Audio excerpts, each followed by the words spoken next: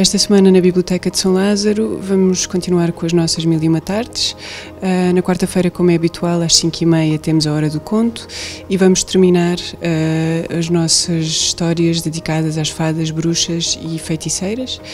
E para terminar, vamos contar uma, uma história sobre fadas, um, de um livro que se chama Pelo Caminho das Fadas.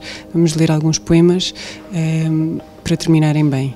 Na quinta-feira, eh, no dia 23, pelas 18h30, vamos ter na Biblioteca de São Lázaro um debate pela Associação Rosa eh, sobre os 10 anos da interrupção voluntária da gravidez.